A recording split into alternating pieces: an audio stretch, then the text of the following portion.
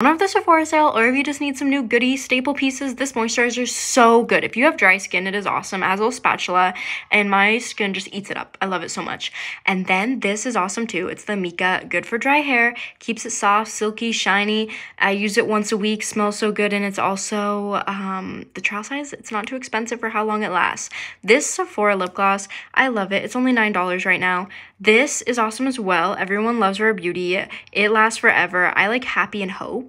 And then this, I wasn't going to get it at first. I've been seeing tons of things about it. I sprayed it on in the store though, and it just even looked so good. This is the NARS. I get other concealers, and I always go back to this one. I just love it so much. Refi Primer, I was skeptical because, you know, but I clean it. It's so good.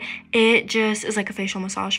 And then this, if you don't have any palettes or have a lot, or this is like the only one you need, it has every color, great for eyeshadow, liner, anything.